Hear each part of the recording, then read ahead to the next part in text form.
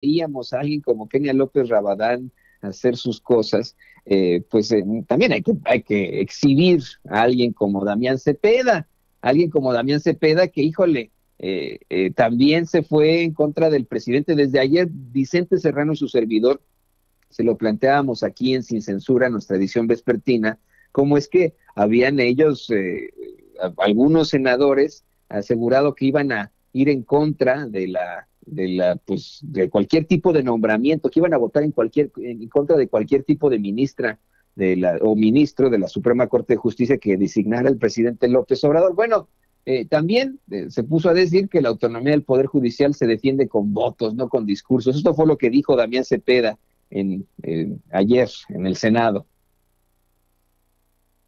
Esta intervención la hago a nombre personal y también a nombre de la senadora Lili Telles.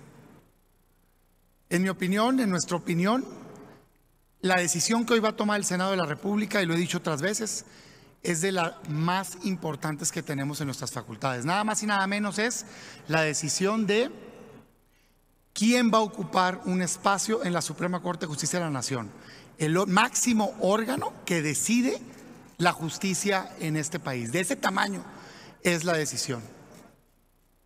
Nosotros Creemos que esa decisión se tiene que tomar con toda la seriedad y decimos con claridad, vamos a votar en contra y queremos explicar por qué. En otras ocasiones hemos dicho que cuando decidimos a quién escoger para ocupar uno de estos cargos, volteamos a ver tres valoraciones. La primera es tratar de hacerte una opinión de si es un buen o mal ser humano, hombre o mujer.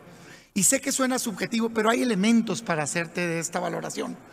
Y el razonamiento es, si es un buen ser humano, puede equivocarse, pero jamás va a actuar de mala fe y no va a estar buscando hacer un daño al país.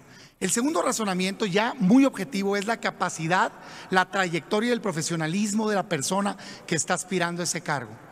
Y el tercer razonamiento, y en este caso lo que está determinado. Pues eh, verdaderamente terrible, ¿no? Lo que plantean estos tipos. Al fin y al cabo, eh, tuvimos a la, ya el, nombramiento que da Loreto Ortiz como nueva ministra de la Suprema Corte de, Justicia de la Nación. Mire, ya lo saludo. Aquí, de verdad, eh, estábamos moviéndonos como podíamos para poder sacar la transmisión con usted. Eh, para que pudiera estar también aquí listo y podamos, como usted lo sabe perfectamente, redactar los textos directamente desde una computadora, el hecho pues obviamente de no tener luz, y e-, es una situación verdaderamente difícil. Pero bueno, vámonos a más información, vámonos a más información a lo que sale el presidente